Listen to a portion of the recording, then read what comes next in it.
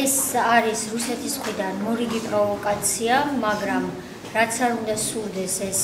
საოკუპაციო ხელისუფლებას, რუსეთის ხელისუფლებას, საქართველოს მთავრობა ყველაფერს გააკეთებს იმისთვის, რომ საქართველოში არ იყოს დესტაბილიზაცია, არც მილსადენი გაჩერდება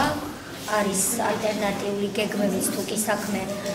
გართულდა რომ მილსადენმა ფუნქციონირება გააგრძელოს ქვეყანაში არ იქნება ომი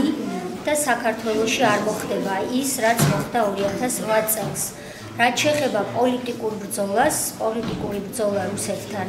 გაგრძელდება და არა მხოლოდ პოლიტიკური, ასევე სამართლებრივ ჭრილში, რადგან რასაც ჩვენ ახლა ვხედავთ, არის რა თქმა უნდა მცოცავი ანექსია, რომელიც მოსდევს ოკუპაციას და აგრეთვე მასიური დარღვევა ადამიანის უფლებების, მათ შორის